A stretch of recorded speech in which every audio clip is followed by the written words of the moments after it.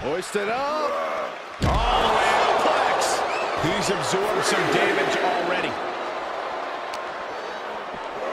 Thrown back in under the ropes.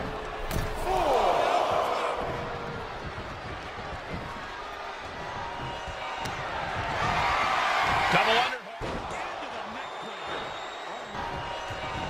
Broken up with a fist to the face.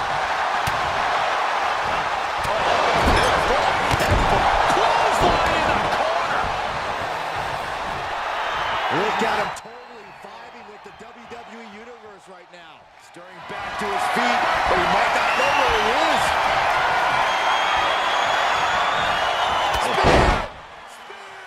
Is this what he needs for the win?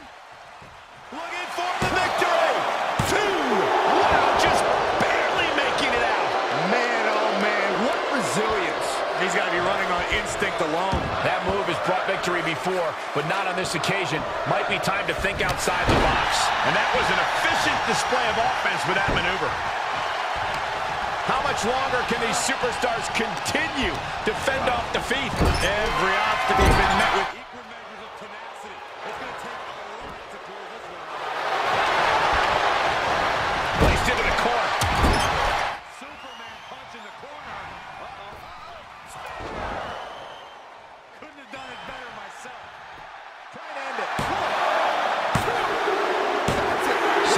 some way, they weathered the storm. Here is your winner, Pita Kid. Oh yeah, they kept their focus and eked out the victory. It was definitely the result of keeping their head in the game in this one. Props to them for not letting the distractions get to them, to tuning out the noise and getting the job